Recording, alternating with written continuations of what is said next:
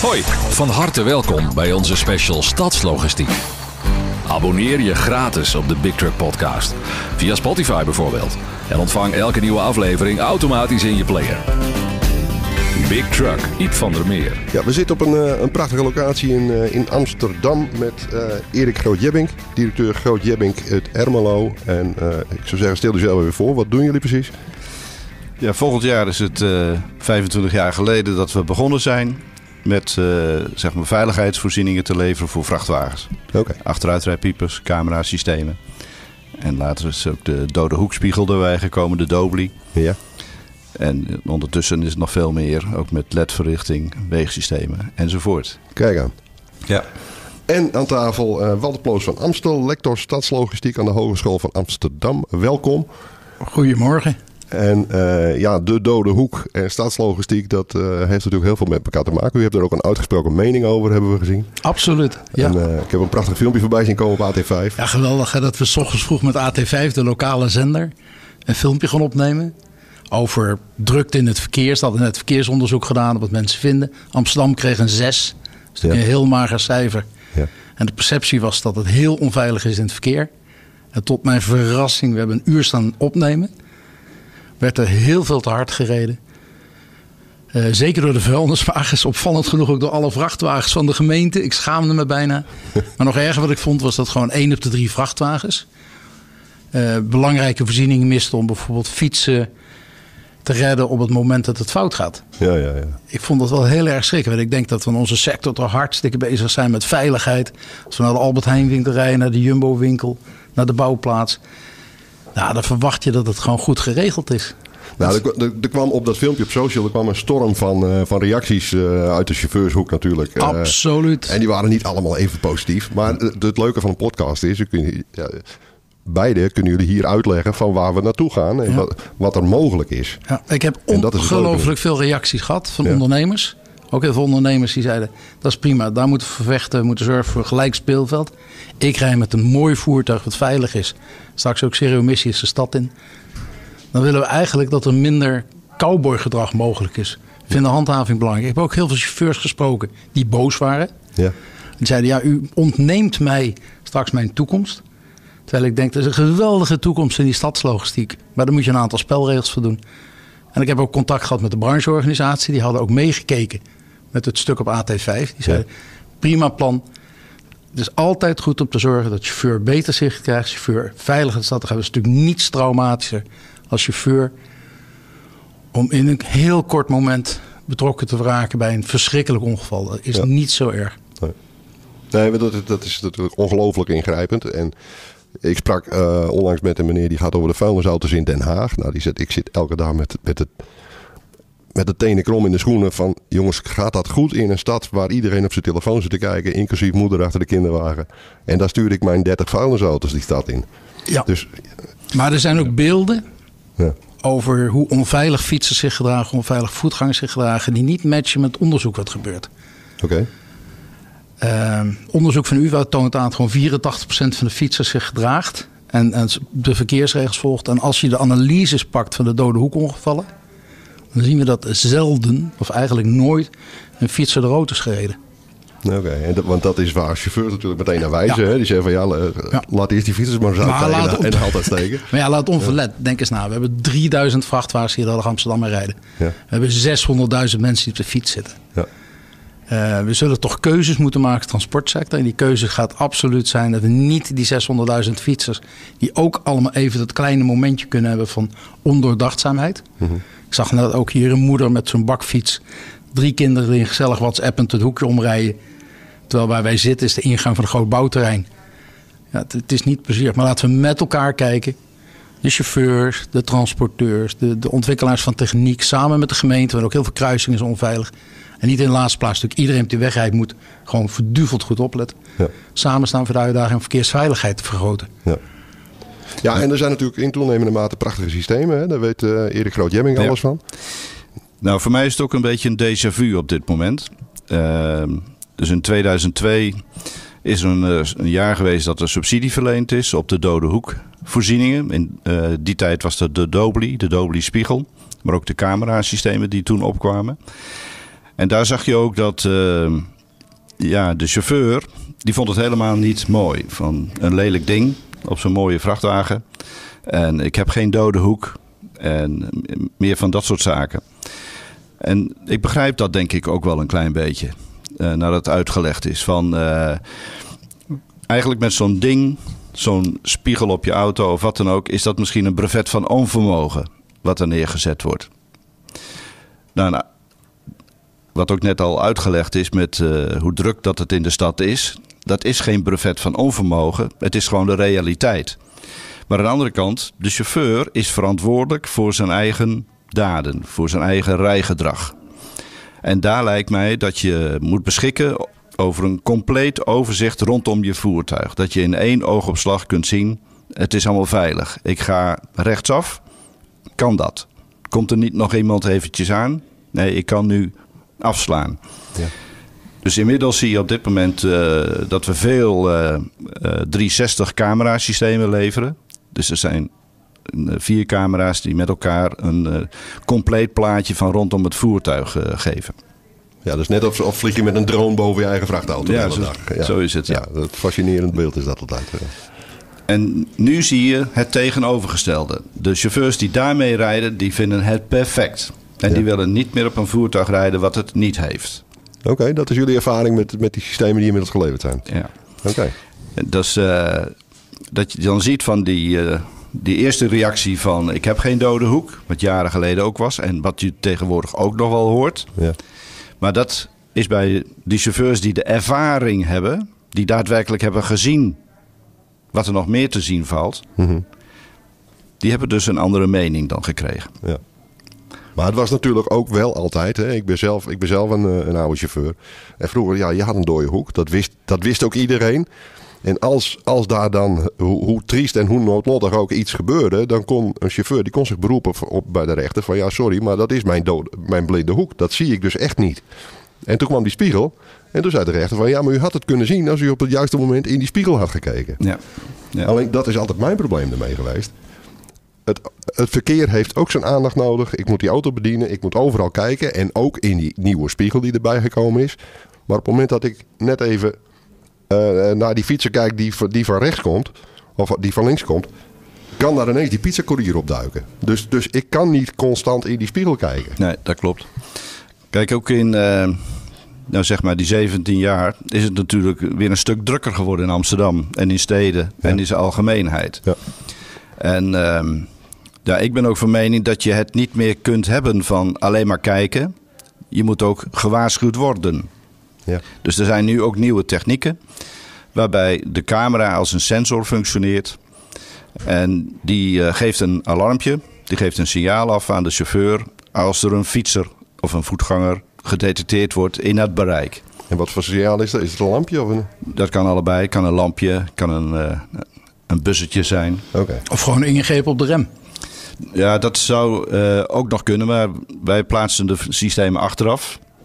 En uh, dan is dat niet dat we ingrijpen op het remsysteem. Ja, Oké, okay. ja, dat, dat hebben we inderdaad ook al eens gezien uh, bij, bij de merken die dat aanbieden of aan gaan bieden. Maar een akoestisch geluid, dat is, een akoestisch alarm is natuurlijk een, een extra reminder. Dat is, dat is ja, ja. Maar we overbelasten wel de chauffeur langzaamaan met informatie aan boord. Hij moet en zijn, zijn apps in de gaten ja. houden. Hij moet zijn computertje, zijn boordcomputer in de gaten houden. Hij moet zijn ITA in de gaten houden. Kom ik op tijd bij de klant. Ja. Hij moet om zich heen kijken. De vraag is of we ook niet heel goed moeten nadenken over de techniek rond wat dan heel duur heet die human factor. Want de situational awareness, zo heet dat heel duur in het Engels. Mhm. Het permanent beseffen waar je bent, is wel belangrijk. En dat kan de vrachtwagen voor je doen. Ja. Ik denk geweldig is dat die techniek hebben. De dode hoekspiegel heeft geweldig geholpen in het reduceren van ongevallen. Moet je niet voorstellen dat ze er niet zijn. De wegduwer van de fietser heeft enorm geholpen. Het ingrijpen straks hè, met, met, met radarachtige systemen, die ons, Ja. daar geloof ik heilig in. Ja. Ook die rem. Maar we zullen ook die chauffeur betere informatie moeten geven. Dus CIMA kan met een aantal transporteurs van Albert Heijn net geïntroduceerd op de boordcomputer de veilige route. Oké, Verschrikkelijk ja. duur Engels woord voor wat ik iedere keer weer vergeet. Maar hij vertelt je tijdens schooltijd dat je beter die route kan rijden. Ja, ja, ja. En op een ander moment beter die route. En een van de belangrijke dingen vind ik in de sector... is wij laten ook chauffeurs een straat inrijden... die in één keer afgesloten is. Ja. Waarom zorgen we niet dat de chauffeur ook de meest actuele local traffic, Ja.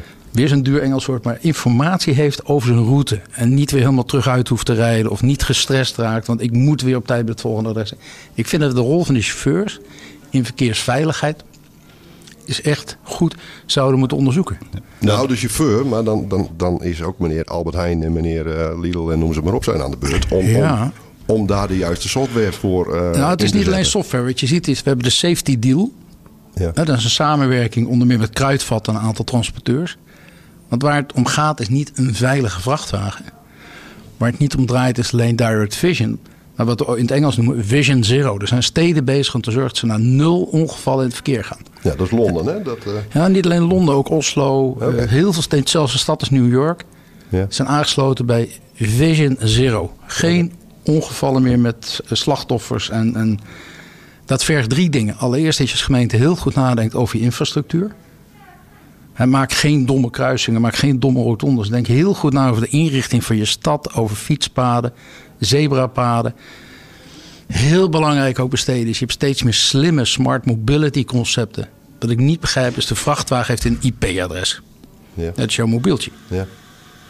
Waarom kunnen we niet heel simpel, want we hebben allemaal intelligente VRI's, verkeerslicht in plat Nederlands. Waarom kan zo'n verkeerslicht niet zien dat er een vrachtwagen is, waardoor we even het verkeerslicht voor de fietsers op rood houden?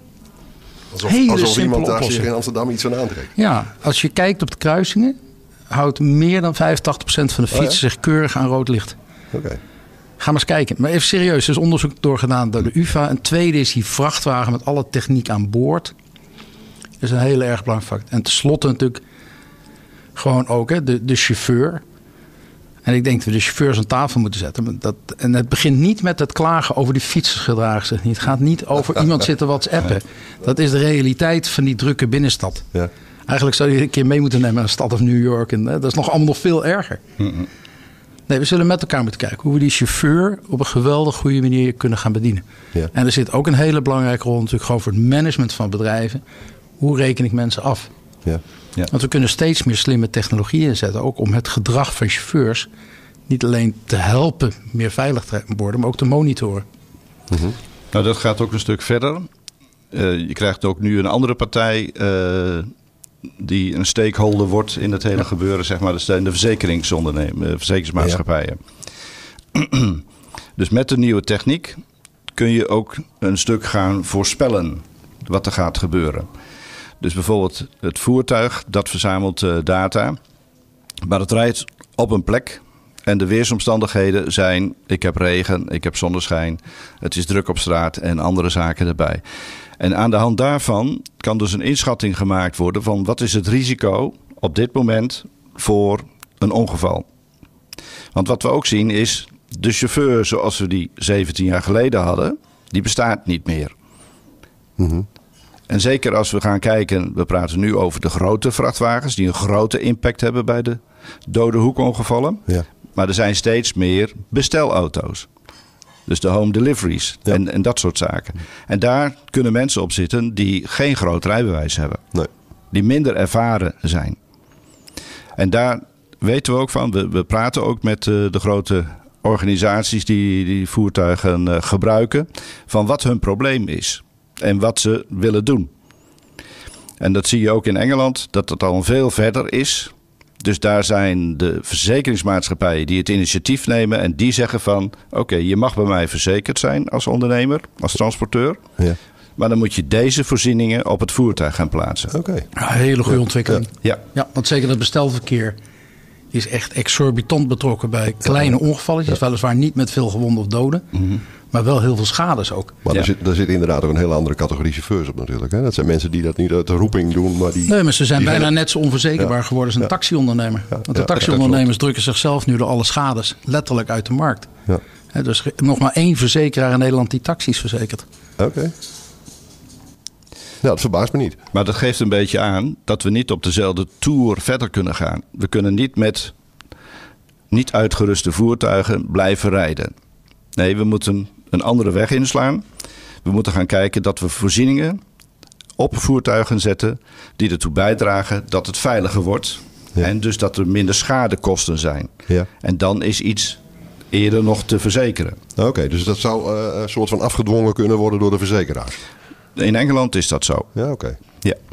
En, en ligt daar ook een taak voor de overheid? Als ik zie, hè, wat, eh, eh, Londen, Nou, hè, ik- we hadden het er eerder over. Ik Je denk dat Londen is een goed Je voorbeeld. mag daar alleen nog de stad in als je bepaalde voorzieningen hebt. Hè? Dan moet Ja, je, en Londen is begonnen met de bouwlogistiek. Omdat 7, of 70 tot 80 procent van de ongevallen met vrachtwagens waren bouwgerelateerd. Ja. Zijn vaak wat grotere, zwaardere vrachtwagens.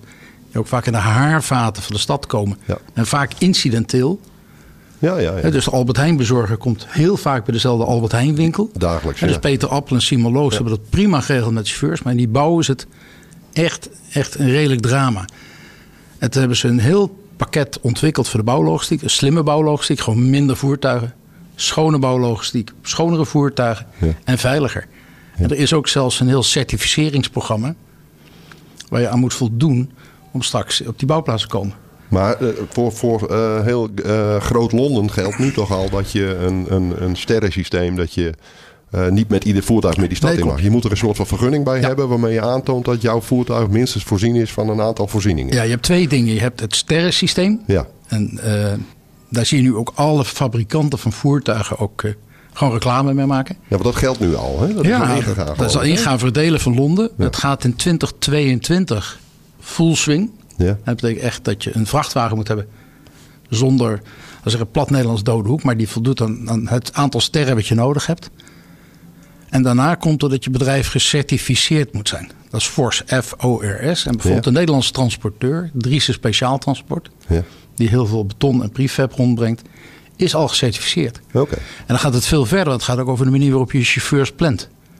Want rustreinheid, regelmaat en nachtrust zijn natuurlijk wel hele belangrijke aspecten voor de gezondheid en de vitaliteit van de chauffeur. En je moet op je kivive zijn in die stad. Oké, dus het is niet alleen een technisch nee, verhaal. het is zeker niet alleen. Het, het gaat ook over hoe monitor je het gedrag. Oh ja. Ehm, het is veel verder alleen maar technisch. Ik denk dat dat best een spannende ontwikkeling is. Want je zult maar een kleine transporteur zijn. Misschien wel gewoon met één vrachtwagen. Of met vijf. Hoe ga je dat allemaal nog eens even bij doen? Ja. Ja, dat wordt ook lastig. En het stuur zit ook aan de verkeerde kant natuurlijk. Hè? Absoluut. Ja, dat ja, is ja. ja. interessant. In Amsterdam rijden vuilniswagens voor een groot deel met het stuur ook aan de verkeerde kant. Ja, ja. Want dan kunnen ze veilig uitstappen. Dus er zit, dat, Ja. we- dat weet bijna niemand, maar in Amsterdam ja, zitten de ze. veegauto's zijn eh Ja, klassiek. ja, keurig Ja, aan de rechterkant. Ja. Maar met de nieuwe regelgeving, dus dat is heel eh, minutieus opgesteld waaraan de voertuigen moeten voldoen en Ja. wanneer. Dus het is even vertraagd. Het zou al in oktober dit jaar, maar het is nu naar maart volgend jaar dan Ja. geschoven. Maar er, eh, nu komen we er ook achter van, ja, met eh, het stuur, dus links ge- aangestuurde voertuigen, zeg maar, left-hand drive, wat, waar moeten die de voorzieningen hebben zitten? Dus waar ze Engeland van uitgaan, is daar waar de chauffeur zit, daar heb je geen voorzieningen nodig. Dus je moet aan de passagierskant, daar waar ook de dode hoek eigenlijk is, daar moet je de voorzieningen hebben. Maar dat is eh, nog iets wat verder uitgekristalliseerd moet worden. Maar wat je ook in Engeland ziet, ook in Londen ziet, die bouwvoertuigen, de vrachtwagens die bouwmaterialen aanleveren, maar ook de kranen. En eh, dat is ook een tendens die we in Nederland zien, dat dergelijke voertuigen moeten ook steeds meer voorzieningen hebben. Dus wij plaatsen steeds meer camera's op mobiele kranen. Oké. Ja, die bouwkranen die gaan ook de binnenstad in natuurlijk. Ja. Ja. En dat ehm, zo'n zo'n eh, ja, mobiele kraan heeft al bijzondere afmetingen. Ja. En eh, op een plek waar die moet gaan werken, daar is meestal ook wat aan de hand. Dus er moet allemaal wat ge- gekeken worden. Dat is niet allemaal standaard wat daar eh, aan de gang is. Mhm.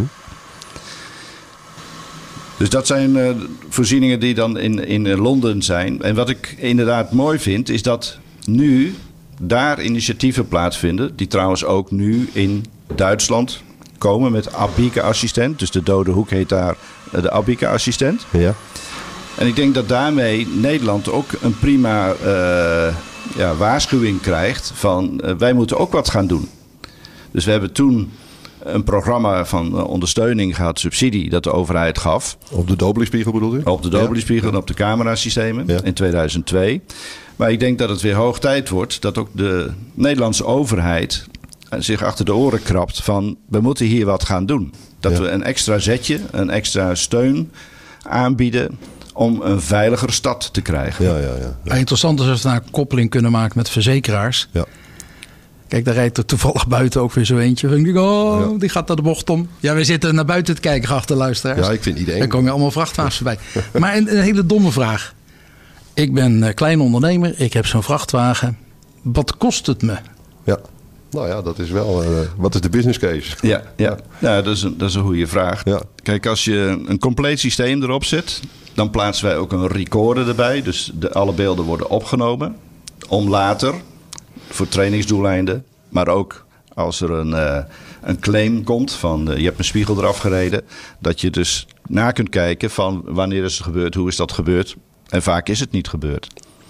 Ja, ja, ja. ja dat Wat is interessant, want dan, ik kom zo even terug op dat geld. Want dat betekent die data, als je die met de overheid deelt.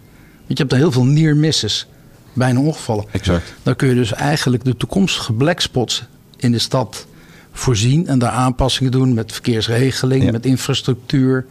Dat vind ik, maar even terug, wat kost het nou? Nou, zeg maar dat we uitgaan van eh, dat het gemonteerd is en alles erop en eraan, 4000 euro. Dan slaap je wel s'nachts, hè? ja. Als ik eerlijk mag zijn, 4000 euro. Ja, Ja. dan Maar- moeten we iets voor verzinnen om dat voor met name kleine ondernemers dan wat dichterbij te brengen. Klopt. Maar de andere business case is van de gebruikers, de ervaringen. En daar hebben we verschillende partijen, grote transporteurs, die besparen gewoon eh 2500 euro op jaarbasis. Per voertuig. per voertuig. Nou, dan verdien je hem dus terug in twee jaar, ruim. Ja. Ja, en dan heb ik nog iemand horen roepen dat er eh, een hoop valse claims voorkomen worden. Hè? Dat is natuurlijk ook een aardig voor die model. Ja, ja. Ja, kijk, met name weet ik dat bij eh, vuilnisauto's, Ja. die dus altijd ook op plekken moeten eh, wringen en, en, en dat soort zaken. Maar het is makkelijker om te zeggen van je hebt mijn spiegel eraf gereden, Ja. dan om te bewijzen wanneer en hoe dat het gebeurd zou zijn. Maar de transporteur zelf moet zeg maar het weerwoord bieden en die moet aan kunnen tonen van dat is niet aan de orde geweest. Kijk even, maar naar mijn ja, beelden. Als je zoveel geld terugverdient, zo snel, waarom bieden jullie het dan niet als een service aan? Dat is het abonnementsysteem, 200 euro per maand. Ja, maar het bedrag blijft hetzelfde. Ja, maar ik zie wel een heel aardig verdienmodel. Dus we zitten erin van. eh, V- dat we- Veiligheid as a service. ja, precies. Maar je noemde dat al van. eh, dat, eh, dat we van tevoren moeten gaan. Of dat we de near misses hebben. Dat Ja. woord zat ik even te zoeken. Eigenlijk is dat veel belangrijker om die near misses te vinden. Ja. Ja. En dus die recorder die erbij zit. Plus dat je software hebt om die data te analyseren. En dat is de GPS-data. Daar kun je heel veel uithalen. Dus je kunt al sturen voordat het ongeluk gebeurd is. En daar zie ik de Ja, dat toekomst vind ik in. fantastisch. Jij gaat vertellen dat dat is bij. Dat is een lastig punt. Gewoon op basis van onze heuristieken en data. Let daar even extra op. En dat, omdat je heel veel vrachtwagens hebt die jullie data verzamelen. Ja. Want dat vind ik de kracht. Mhm. Eigenlijk moet je geen kastje verkopen, maar uiteindelijk ben je koning als je al die data hebt. Want zo'n bedrijf zelf heeft natuurlijk geen tijd om die data te analyseren. Nee. Nou, en dat, dat is ook het, het andere wat het is. Maar aan de andere kant is het dat de chauffeur rijdt op dit moment en moet op dat moment zeg maar advies krijgen. Wat er nu veel gebeurt is dat eh, eh, een- een mentor gaat meerijden. Die gaat een dagje mee en die geeft adviezen aan de chauffeur. En dan zie je dat er wat verandering komt in het rijgedrag. Maar als die mentor weer weg is, dan weet je niet hoe het verder gaat. Nou, dan zakt dat, zakt dat langzaam Dat weer zou af, kunnen. Ja, ja. Dat zou kunnen. Maar als je permanent, continu monitort, Ja. en dat is ook in Engeland aangetoond, dan eh, heb je gewoon dat het hele schadepatroon, dat blijft continu naar beneden gaan. En dan stabiliseert dat. Maar dat betekent in de toekomst dat je net als eh, Otto werkt, traint mensen voor Bol in Waalwijk. En dat doen ze virtueel. Ja. Eigenlijk kan ik dus als chauffeur met de techniek die je hebt, de route van morgen via augmented reality, eigenlijk de avond voordat ik aan het werk ga, zodat ik eigenlijk al voorbereid ben. Ik, ik zie wel Dat is- hele mooi. Ik vind die techniek dat wel dat mooi geïntegreerde. Ja. Dan krijg je huiswerk als chauffeur. Dan kun je s'avonds op, je- Nou ja. op je laptopje even de route van morgen bekijken.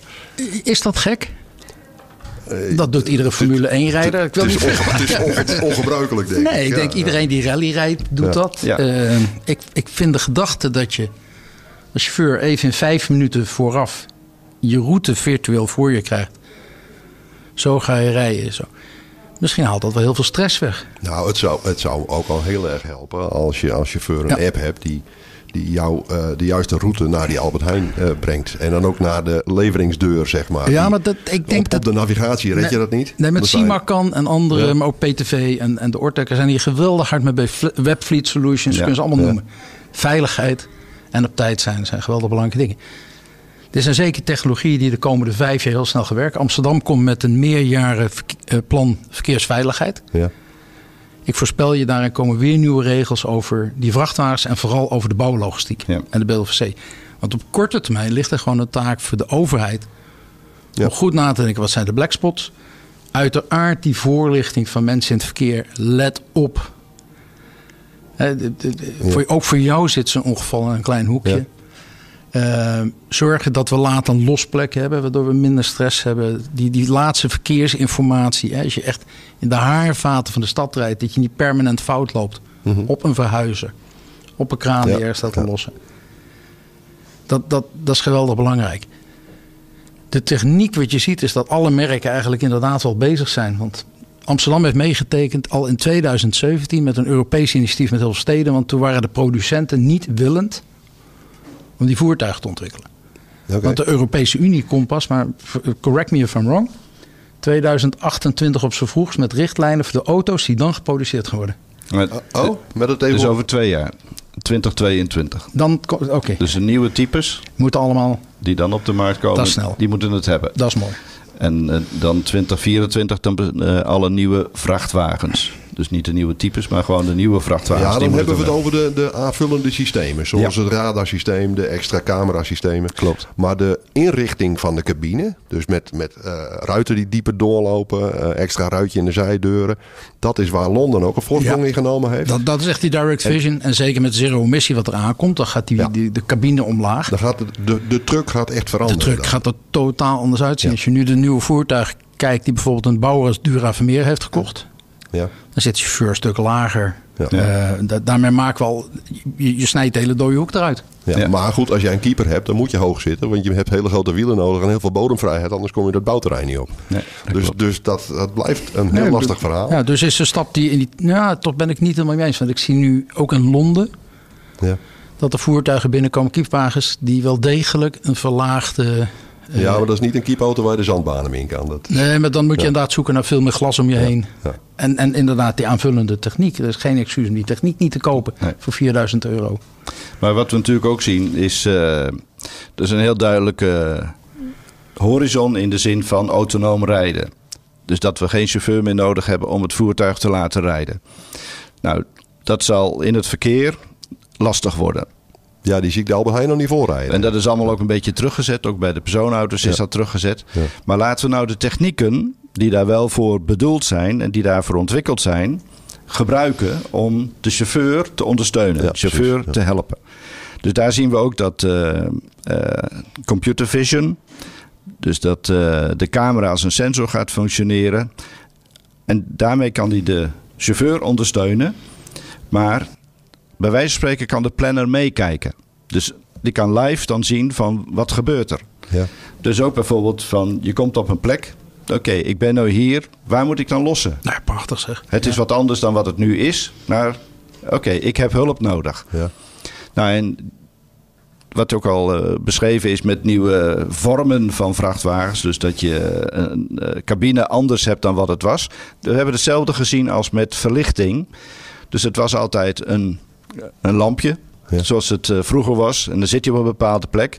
Nou, nu hebben we LED-verlichting. En dan zijn we niet meer gebonden aan de vorm. Aan de vorm van, de, van de behuizing. Precies. En dan kun je dat overal krijgen. En dat zien we steeds meer. Dat denk ik ook dat we met die voertuigen gaan hebben. Gaan krijgen dat je ook niet per se een schermpje ergens hebt. Nee, het kan ook head-up display zijn. Dus dat je een veel groter eh, zichtbereik hebt. Maar een, een planner die meekijkt met de chauffeur. Ik bedoel, als ik als planner 40 auto's in de planning heb, dan ga ik echt niet aan de jongens dat handje nemen om te vertellen waar de deur zit en waar het toilet is.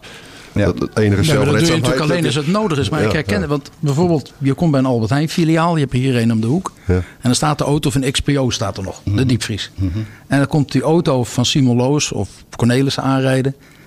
En is je plek vol.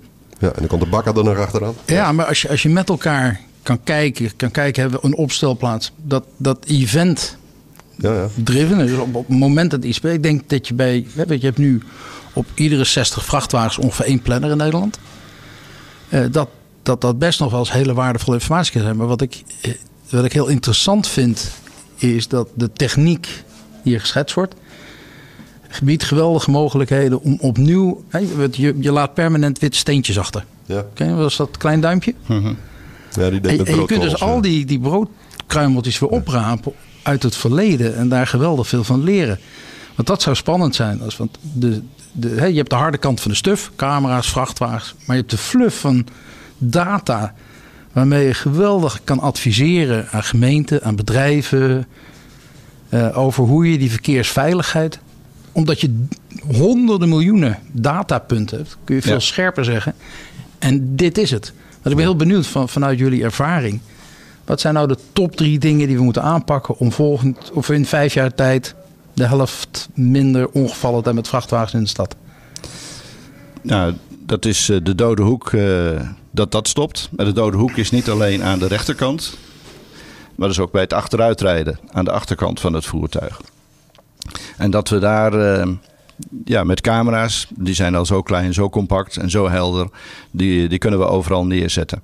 Maar het andere is de, de data verzamelen. Dat we de planners en dat soort zaken als een luchtverkeersleiding eigenlijk eh, de, de boel laten regelen. Van het is verstopt, doe eventjes wat anders. Nou, Ja. de Ik vind dat een hele inspirerende gedachte. En nummer drie? Ja, dan zit ik er even na te denken wat het dan zou moeten zijn. Nou, Nou, eh, kijk, het andere is van eh, ook gewoon naar voren rijden. Van, we hebben een afleiding door eh, sms'en, door eh, ja, dat we toch even eh, ergens anders naar kijken wat niet de bedoeling is. En dan op een stilstaande file of een auto die stilstaat, dat we daarop rijden. Dus elke dag is dat aan de orde. En ik heb me laten vertellen dat die algemene schade die we in, als maatschappij hebben, is 15 miljard. Ja, ja, ja. Dat gaan we toch niet accepteren? Nee. Daar moeten we wat aan doen. En dat zijn, is het laaghangende fruit in feite wat we kunnen krijgen. En daarnaast is het van de ellende voorkomen. Van de persoonlijke ellende van eh, een chauffeur die een ongeluk meemaakt. Maar ook als eh, transporteur wil je dat ook niet meemaken. Nee. Nee, en van de familie die het overkomt. Het is allemaal verschrikkelijk. Laten we dus alsjeblieft alles op alles zetten. Precies. En wat, wat ik eigenlijk... want Ik ben geen harde techneut, dus voor mij is hoe zo'n cameraatje werkt geen idee. Maar ik wil eigenlijk zeggen dat het, het is dichtbij. Iedereen zou het moeten kunnen. En degene die het nog niet kunnen, we hebben eigenlijk een soort verdienmodel. Want de overheid kan hier geweldig mee verdienen. Want die kan black spots aanpakken en het verkeer veiliger maken. Ja. De verzekeraars.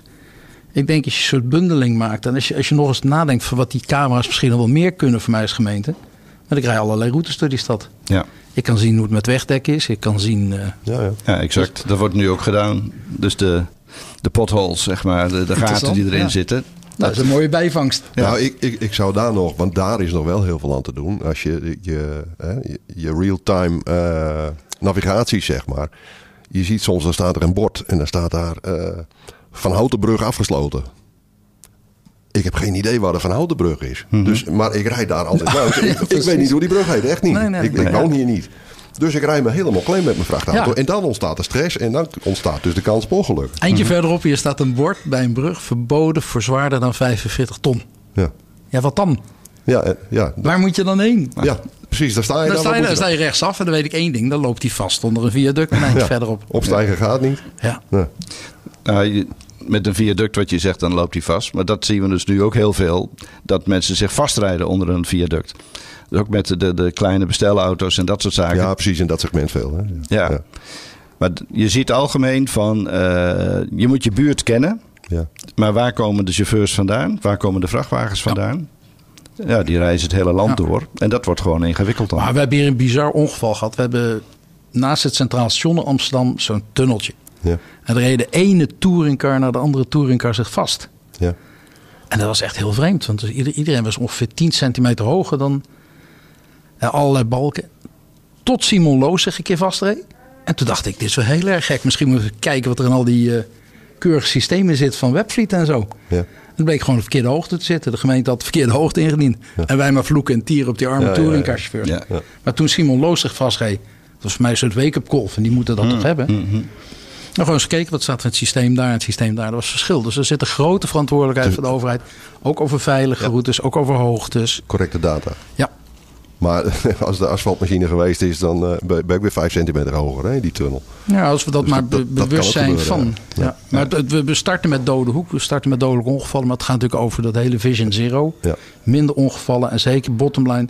En daar kan geen transporteur, geen chauffeur tegen zijn. Nee. Minder schades. Maar gaat dat, u- gaat dat, dat, dat Londen-model, gaat dat ook op Nederland worden toegepast? Zijn daar bewegingen in die richting met politiek, met TLN? eh, Ik denk dat eh, in het algemeen brancheorganisaties niet meer regels willen.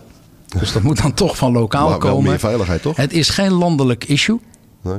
Eh, ik denk wel dat gemeentes als Amsterdam, maar ook Rotterdam, die zijn nadrukkelijk nu aan het kijken naar bouwlogistiek, nog binnen hun huidige coalitieperiode eh strikte afspraken gaan maken. Met name rond bouwlogistiek. Ja. En eh, zeker ook rond de afvalinzameling. Want de afvalinzameling staat ook redelijk hoog eh, in Ja, de schade- en ongevallen Maar dat is ook meteen de makkelijkste, want ze zijn zelf vaak eigenaar van al die voertuigen die die afval eh, inzamelen, toch? Ja. Maar als we kijken in Nederland, hè, 1 op de 5 vrachtwagens rijdt in de bouw. Dus dit gaat heel veel Ja. transporteurs, groot en klein, heel hard raken. Dus maak je borst maar nat. Ja, ja, ja, ja.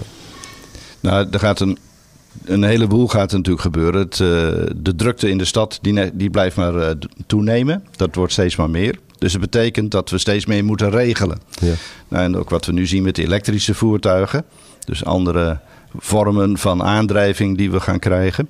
En dat is een mooi moment om zeg maar ook nieuwe technieken erop toe te passen.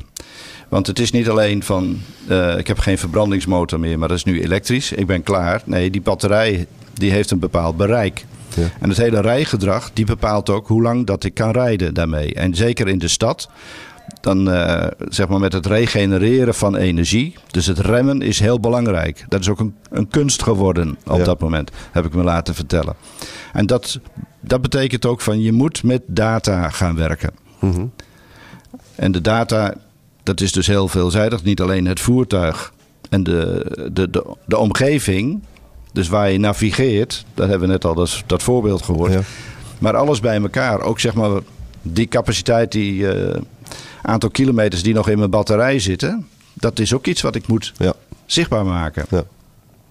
ja, dat is vroeger keek ik op de tankmeter en nu, maar dit is natuurlijk, dat is ook de gewenning. Maar je moet voertuigen natuurlijk inplannen op eh, een route die binnen de actieradius past. Hè? Dat- Precies. Dat, ligt ook een taak voor de planning natuurlijk. Maar als er een, eh, een brug afgesloten is Ja. en je moet gaan omrijden. In de echte wereld wil dat nog wel eens. eh, Ja, nou Ja. denken wel eens sommige gemeenten, zeker met wat GroenLinks-coalities, die denken dat we zonder vrachtwagen kunnen. Nou, Ja. dat is natuurlijk volkomen onbenul. Ja. Hè, Als we een Albert Heijn moeten gaan bevoorraden in plaats van met, met grote vrachtwagen. Met een bakwagen heb ik al twee keer zoveel voertuigen nodig. Maar moeten met bestelauto's heb ik tot twintig keer meer voertuigen Ja, nodig. In de bouwlogistiek is 60% van alle vrachtwagenbewegingen zijn bulk. Zand, beton, bakstenen, riolen. Ja. Je kunt je toch niet voorstellen dat we een factor 10 van die bestelauto's gaan krijgen. Nou, dat, dat sloopt de verkeersveiligheid. Nog we met van- elkaar zorgen, die vrachtwagen veilig door de stad. Er ligt verantwoordelijkheid voor mijn gemeente, Ja. voor de overheid, voor de Europese Unie. Er ligt verantwoordelijkheid voor werkgevers. Ook kleine werkgevers om dat te doen. En ik heb vandaag geleerd in ieder geval dat die techniek die eraan komt eh, mega inspirerend is. Absoluut, ja. Eh, en dat we met die data die straks dat voertuig dus gaat, gaat eh, oogsten in de stad. we zoveel meer kunnen doen om te zorgen dat die chauffeur veilig weer thuis komt. Ja. Ja, die data is waardevol. Dan moeten we het alleen nog even over hebben. Voor wie is die data? Is dat, is dat van de eigenaar van het voertuig? Is die van eh firma Groot-Jebbink? Eh, Nou, vertel is, het eens. is, is die van ons allemaal? Is die- Hoe, eh, Nou, dat is natuurlijk een, een discussiepunt. Van in eerste plaats is er met een service. Waar staan de servers ja. die dat allemaal regelen? Nou, die staan dan in Nederland. Dus dan hebben we gewoon eh, dat stukje al getackeld. Ja, wel, we- want al die Equinix datacentra in Nederland staan op Amerikaanse grond. Dat is een, eh, Oké. ja, Ja. Dat, is, dat is best last. Maar je staat in een Nederlands datacentrum. Er staat in Nederland. Hoe dat in de details is, dat weet ik ook niet.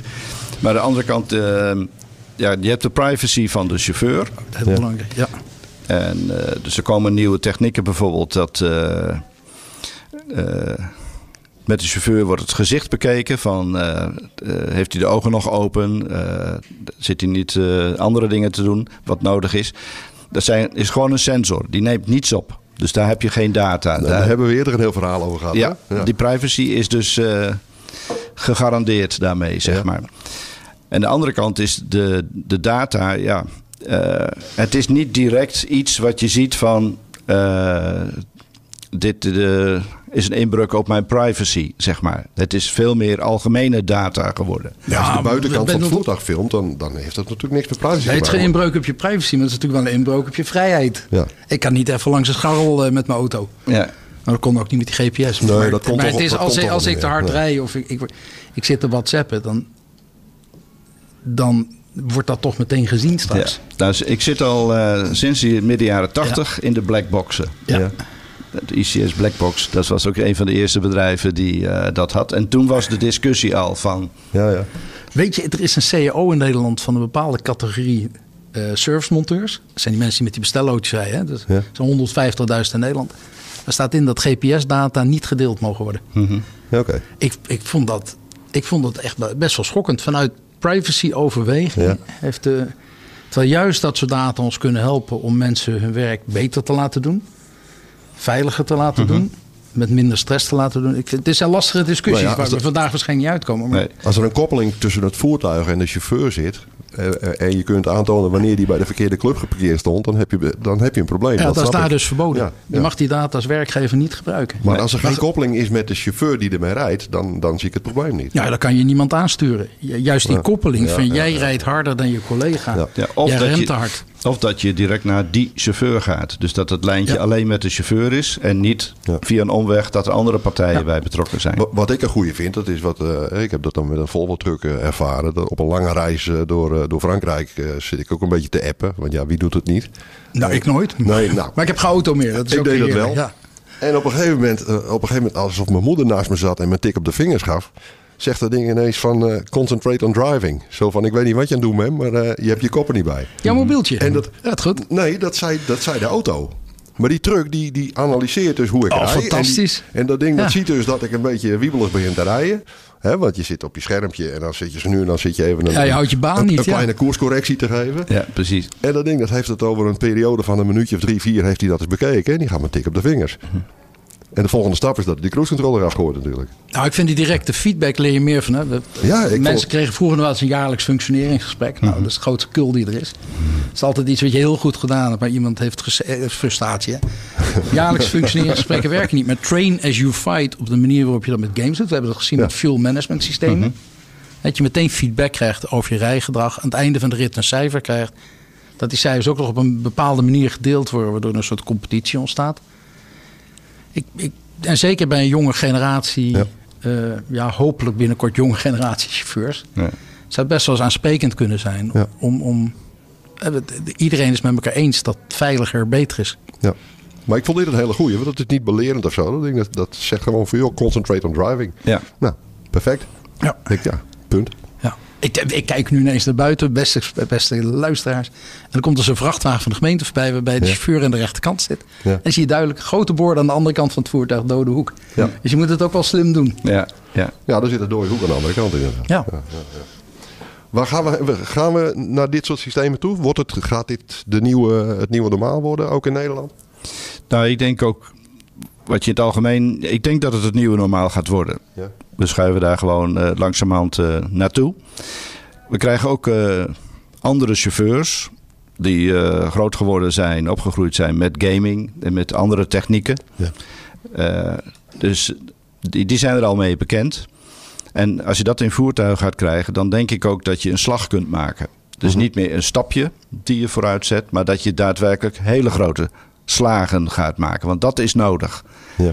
En het is niet alleen die chauffeur, helemaal niet. Dus wat ook vanochtend al gezegd is, is van eh, de infrastructuur, de, de stad eh, en alle drukte die eromheen is. Je moet dat integraal aanpakken. En niet alleen maar naar die chauffeur bekijken. Oké. En als, ligt- ja. En als Jebbing zeggen jullie van die bal ligt bij de verzekeraars in eerste instantie? Dat is een hele belangrijke motivator. Ik denk dat eh, de transporteur, iedere transporteur zelf, die moet zijn verantwoordelijkheid nemen. Ja. Maar aan de andere kant zijn voordeel ook halen. Die mag best een beetje geduwd worden, zeg maar. En daarnaast mag die wat geduwd worden, maar dat een verzekeringsmaatschappij ook meehelpt. Zeg maar dat als hij eh, een bepaalde voorziening op zijn voertuig zet, dat hij dan minder premie hoeft te betalen. Ja. En dat wordt dan wel weer eh, ja, aangetoond naar zeg maar een jaar rijden. En dat je da- kunt zien dat hij daadwerkelijk minder schades rijdt. Mhm. Ja. Maar aan de andere kant zie je verzekeren, het verzekeren van een object wordt steeds ingewikkelder. Eh, dus dat is eigen risico is veel hoger. Dus dat valt al helemaal niet meer onder verzekering. Nee. Dat, dat is, ligt bij de transporteur, de eigenaar van het voertuig. Ja. Ja, het gaat echt gebeuren in de steden. Als de vorige wethouder, VVD-wethouder, Pieter Litjes, tekent voor wij willen naar Direct Vision als onderdeel van Vision Zero. Ja. Dus we gaan eisen stellen aan wie er straks toch in de stad komt en hoe die rijdt. Je gaat natuurlijk als 3000 chauffeurs nooit winnen tegenover 600.000 fietsers. Die Nee, zich laten nee. vertegenwoordigen een fietsersbond. Maar wat ik heel goed vind aan dit gesprek, en wat voor mij super leerzaam is, is is een enorme business case. Dus waarom zou je wachten tot de overheid wat doet? Ja. De overheid heeft wel een belangrijke rol in het veilig maken van infrastructuur, in het delen van informatie Ja. en zorgen dat die vrachtwagen die ergens komt, kan laden en kan lossen en bijvoorbeeld veilig achteruit kan rijden. Zoals we hier nu zien. eh, Zoals we hier gebeuren, nu ja. buiten zien Ja, gebeuren. precies. Ja, deze vrachtwagen had namelijk de andere kant van het bouwterrein in moeten rijden. Ja. Het is hier heel slecht aangegeven. Nou, en dat bedoel ik met lokale... het is hier het is enorm. Hier, komen straks informatie. 70.000 woningen. En zoals de bouwlogistiek in dit gebied is geregeld, Ja. snapt niemand van. Waarschijnlijk hoort die vrachtwagenchauffeur de andere gate te hebben. Ja. Die is precies aan de andere kant. En moet dus nu dat hele eind terugrijden over een dijkje waar mensen lopen, waar mensen fietsen. Had niet gehoeven als hij de juiste informatie had Hij gehad, ziet helemaal niks. Maar als, hij, als deze man de goede informatie had gehad vanmorgen... of, of Ja. real-time op zijn schermpje... dan Dus kijk, hij rijdt zichzelf nu ook gewoon vast in had de hij deze manoeuvre niet hoeven maken Nee. nu natuurlijk. En nog erger is, hij is helemaal leeg, hè, die vrachtwagen. Kwam net met twee pelletjes hier het terrein Oh, ik weet niet wat er zijn Dus ik denk dat er ook wel een verantwoordelijkheid ligt voor de verladers. Om te zorgen dat als we dan die vrachtwagen de stad te laten rijden, dat die goed beladen is. En niet zoals deze met. eh, ja, het is, we kunnen het helaas niet uitleggen. Het is een enorme joekel van een vrachtwagen met een trailer erachter en dan twee lullige pelletjes. Die er overigens nog gewoon op staan. Die er nog op staan. Ja. Maar, eh, ja, en chauffeurs zijn sceptisch over dit hele verhaal. Hè? En, en, maar ik kan je, Nou, ik kan je ervan niet met je verzekeren eens. dat er Ja. geen chauffeurs morgens van huis gaat met het idee van nu ga ik eens gezellig over de fietser heen rijden. Precies. En, en Ja. ik denk dat Ja. we met z'n allen die veiligheid omarmen. En eh, alle, alles wat er mogelijk is om dat vak veiliger te maken, Nee, maar dat, ik je- moet gewoon gebeuren. Veel reacties van chauffeur. Een derde is gewoon boos. Ja. Maar die moet gewoon eens heel goed nadenken over het vak van de toekomst. Dan nadenken van, als ik dit nog tien jaar wil doen, hoe ga ik dat doen? Ja. Een derde zegt, ik wacht even af wat er gebeurt. Maar ik volg graag met veel belangstelling wat er allemaal aan techniek komt. En een derde zei, dit moeten wij morgen doen. Dit is onze license to operate in de stad. Ja. Nou, dat vind ik een prachtige afsluiting. Zeker. Heren, dank u wel voor deze, voor deze podcast. Graag gedaan. Ik vond het een eh, bijzonder leuk gesprek en leerzaam. Dankjewel. Dank u wel. Dankjewel. Er rijdt dus een kindje op zo'n fietsje achter die vrachtwagen op dit moment. Denk Ja. kindje vier jaar oud. Ja, die man heeft geen camera achterop. Hij heeft dus ja. niets, hij heeft helemaal niks. Maar dit is de zoveelste vrachtwagen half. Ja, en de moeder met de kinderwagen. Het is dit, dit, met iedere twee minuten rijdt hier eentje in. Je vindt ons op Spotify, Apple Podcasts, Google Podcasts of in je eigen favoriete podcast-app. Abonneer je helemaal gratis en krijg elke update en podcast automatisch in je player. Zo luister je met regelmaat onderweg trucknieuws, achtergronden en weetjes in de cabine. Je reactie is ook van harte welkom. Spreek in via WhatsApp op 06 517 97 283. Of download de gratis Anchor Podcast app in de App Store of bij Google Play. En luister, abonneer en reageer. BigTruck.nl. Online onderweg.